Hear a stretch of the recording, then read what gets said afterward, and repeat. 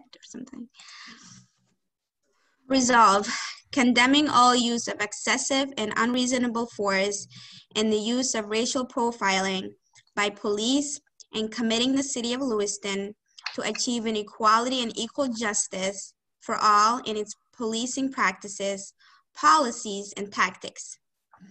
Whereas criminal charges have been filed against a number of Minneapolis, Minnesota police officers for the murder of George Floyd on May 25th, 2020.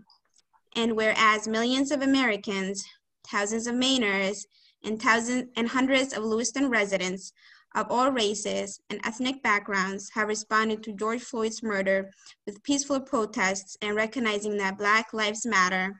and calling it for the reform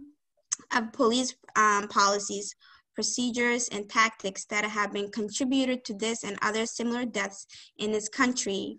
And whereas George Floyd's murder was not an isolated incident in our country's 400 year of his,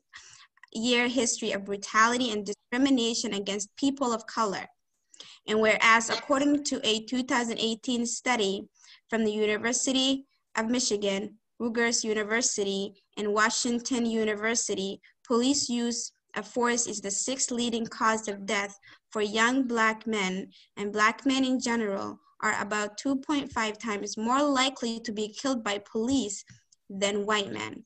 And whereas, as in the case throughout our country, Lewiston has experienced incidents of racial, religious, and ethnic hatred and division, such as a KKK cross build and um, burning targeting Catholics in 1924 and isolate and isolated anti-immigrant incidents that continue today.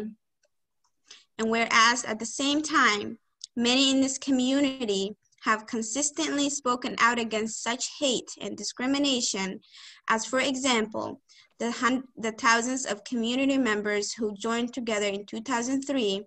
to organize against a white supremacist rally, and large numbers of community members who continue to do so today in response to the unjust murders of Mr. Floyd and other minorities, and whereas the Lewiston Police Department does not currently reflect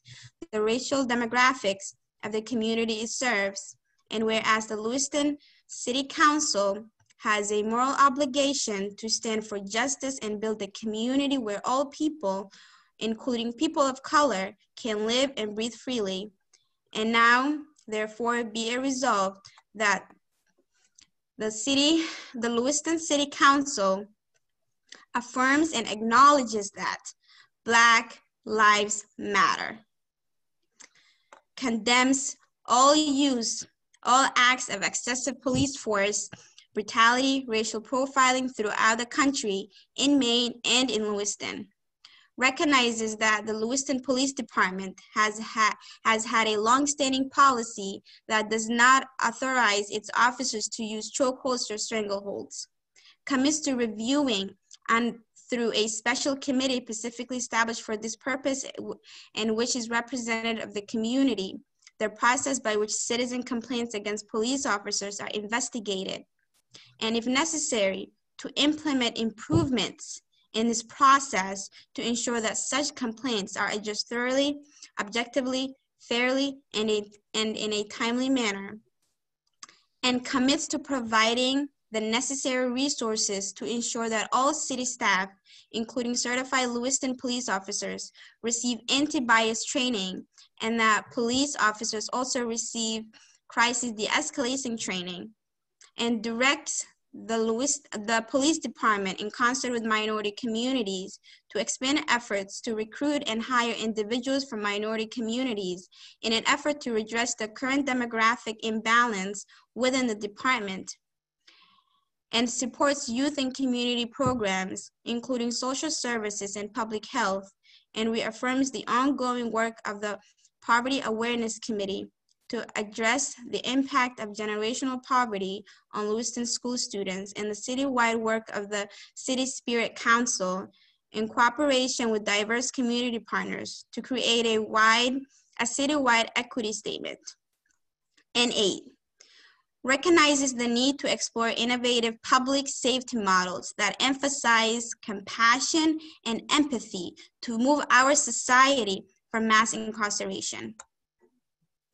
Thank you. Okay, thank you, uh, Councilor Khalid.